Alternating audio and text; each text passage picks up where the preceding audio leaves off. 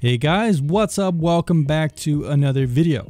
Today we're going to be talking about how to purge yourself from the internet.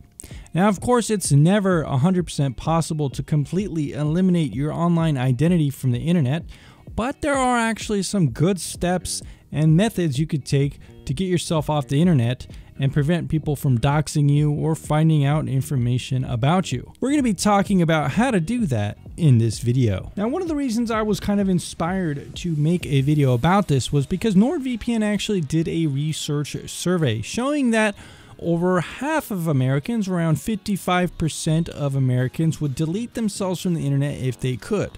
47% of Americans say they don't trust the internet, 46% said they have no reason to have their name on the internet, and 42% said they fear that someone is eventually going to hack them. Somewhat even further still, 18% said they wish there wasn't an internet, and 8% said they don't use the internet. Probably grandma, right?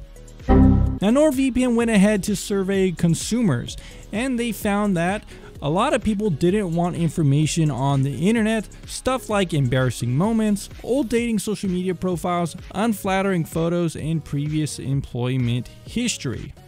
Now, NordVPN listed some other tools to kind of prevent stuff from being on the internet as much, like just sharing less and using common sense and stuff like that.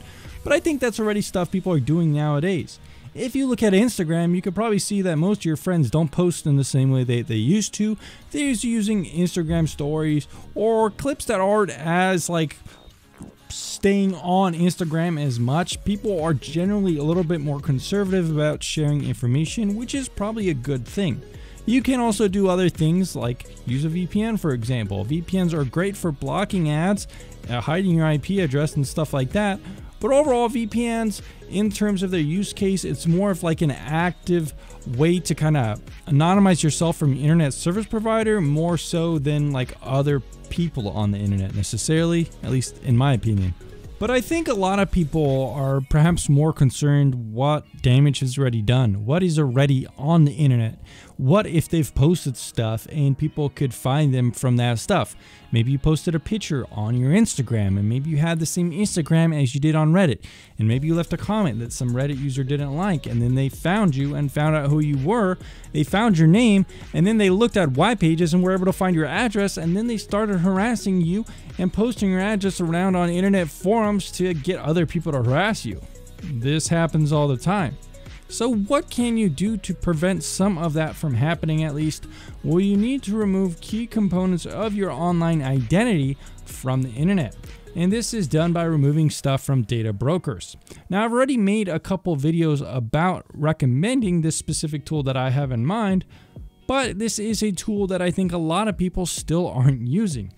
I've looked and seen that some people on the channel are using this tool, uh, signing up with my link and getting a good discount as well with my promo code, but a lot of you still haven't, which means that most of you still have your information in the hands of data brokers. Now, the simplest method is just going to each data broker and requesting them to remove your information. However, this becomes less simple when you realize there's thousands of data brokers out there with your information, and it would be a full-time job to constantly monitor them and get your information removed. Now, there are some other services out there and different services available to get this done. Some are even as expensive as $1,000 a year, and it's sort of like hiring a private detective or something like that to monitor your online stuff to protect you. And there are even other services out there like Delete Me that I've checked out in the past, but I still believe a lot of these services are too expensive. Delete Me, for example, only lets you pay annually, which means it's going to be very expensive since there's only one pricing plan. That said, my favorite tool or data removal tool is something called dataseal.io. Now, dataseal.io, you could choose to pay either annually $100, which is cheaper than um, Delete Me, and you could pay monthly as well if you do want it. Now, what exactly does DataSeal do? Well, it pretty much goes to all these data brokers and requests the information to be removed. They'll do this every month for you and send you emails as well to let you know what data has been removed to help you stay more anonymous on the internet. Basically, it will remove your information from data brokers like White Pages and all those annoying websites, which host your real life information and make it easy for people to find you online, like I previously mentioned. So, guys, if you are interested in checking out dataseal.io, you could use code TomSpark5. This should give you a discount on the website, and also use my affiliate link in the description and pinned comment to check them out, and it'll help support the channel. DataSeal didn't pay me to make this video.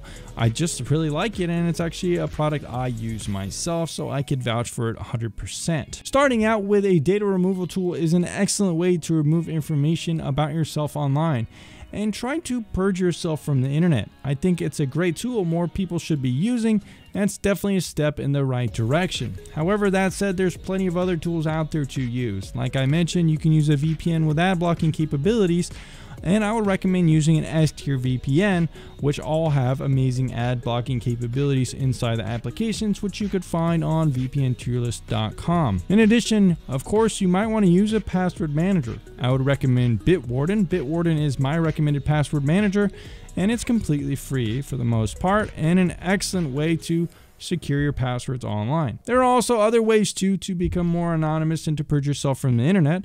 So stay tuned on the channel and I might give you some more tips and tricks in the future. Anyways guys, thanks for checking out this video and I'll see you again very soon.